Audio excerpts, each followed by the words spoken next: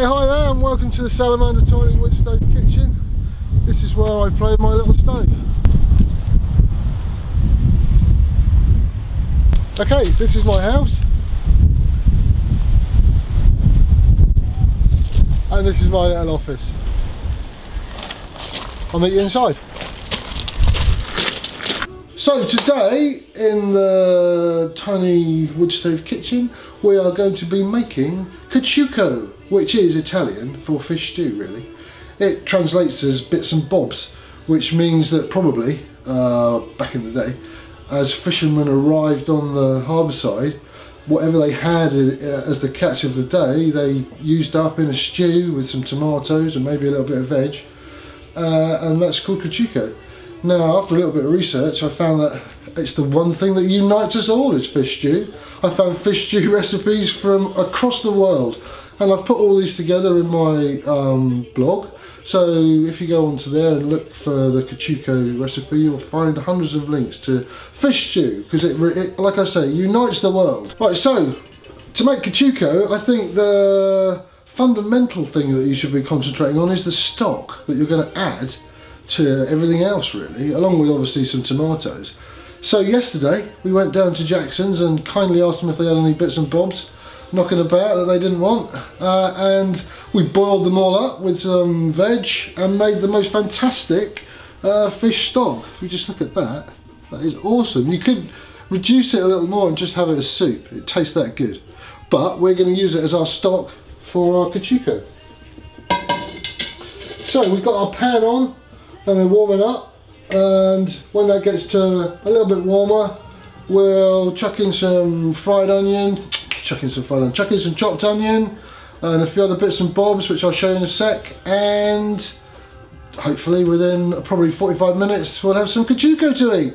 Okay so these are the ingredients for today's cacciucco so we've got some nice little uh, strips of cured ham from Riverford that we got on Sunday and some tomatoes, a bit of veg, a nice bottle of Italian Chianti, and of course the main ingredient, the lovely fish from Jackson's, the fishmongers in Newton Abbot. Okay, so we've chopped all the veg up into sort of chunky bits, um, with a little bit of the Riverford, we'll add a bit of Chianti and the tomatoes.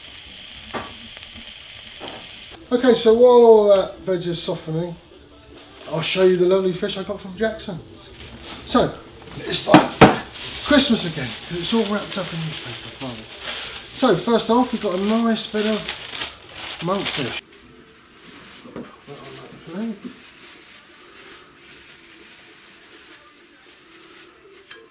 Bag of mussels, a few little mussels there. I'll leave them in the bag.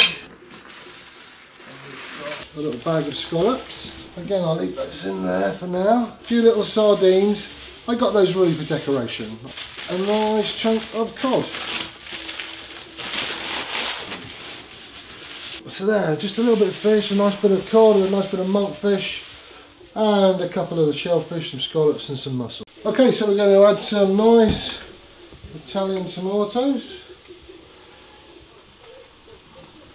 Maybe one more.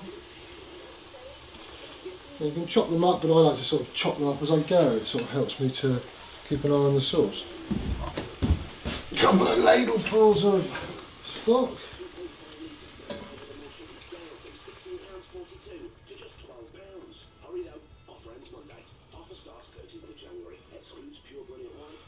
Luck. And of course, a nice healthy glug of the Chianti.